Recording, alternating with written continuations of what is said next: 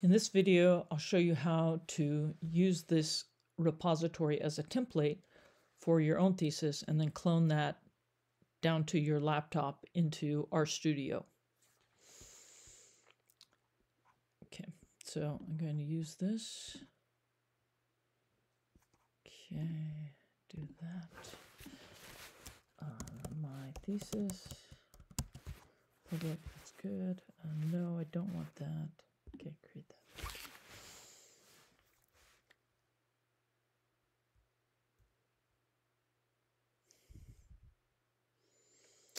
All right, so now I have my own repository and I can clone this down to my computer. I'm going to show this with RStudio, but you can use whatever um, platform you use. Obviously, if you're in Python, you're probably not using RStudio. So, but in RStudio, I would say new project,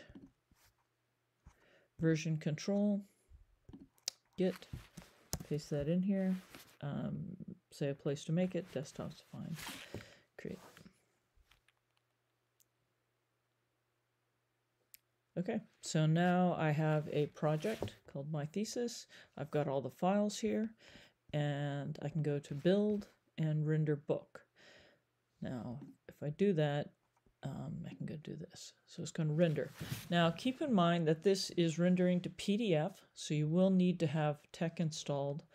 Um, and TinyTeX works great with Quarto. So if you don't have that installed, just install that. If you don't know how, just Google that.